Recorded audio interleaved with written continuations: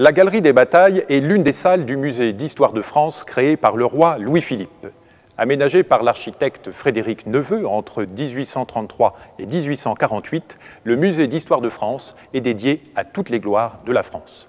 Avec ce musée, Louis-Philippe souhaite renforcer sa légitimité et réconcilier autour d'une histoire commune les Français, alors divisés entre royalistes, bonapartistes et républicains. La Galerie des Batailles est le premier ensemble voulu par Louis-Philippe pour son musée. Conçue pour être le pendant de la Galerie des Glaces de Louis XIV, elle mesure 119 mètres de long pour 13 mètres de large.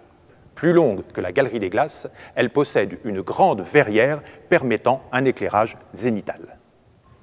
33 compositions aux dimensions impressionnantes retracent ici l'épopée militaire française de la bataille de Tolbiac avec Clovis en 496 à celle de Wagram avec Napoléon Ier en 1809, ce sont les plus grands faits d'armes de l'histoire nationale qui sont ici représentés. Prenons un exemple, la bataille de Taillebourg réalisée par le peintre Eugène Delacroix. Le peintre montre ici avec dynamisme et choc coloré la prise du pont sur la Charente par Louis IX. Symboliquement, ce tableau fait écho à l'actualité politique de Louis-Philippe. Le roi reprend le pouvoir après une longue période de troubles. La Galerie des Batailles, symbole fort du projet de Louis-Philippe, est le lieu d'inauguration du Musée d'histoire de France en juin 1837.